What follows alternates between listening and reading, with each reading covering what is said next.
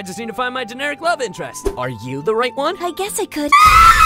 Are you the right one? I'm like 12. Are you the right one? I'm as useless as a hedgehog in a condom factory. How about you, Tits McGee? It's not like I like you or anything, you idiot, Bucka! Perfect.